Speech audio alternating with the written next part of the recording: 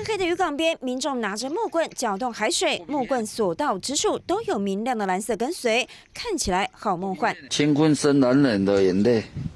叫做蓝眼泪。这里是台南将军区的青昆生青山渔港附近，最近有民众偶然发现马祖著名的蓝眼泪美景，竟然也出现在这里。船只开过去有海浪，结果它就在那边发光。这一两天发现的，第一次看到了，就是新奇啊！每天晚上哈，都会很多人在这里在找蓝眼泪啊，拍照啊。会出现蓝眼泪，可能是夜光虫随着海水进入港边，海水波动之下出现荧光色泽。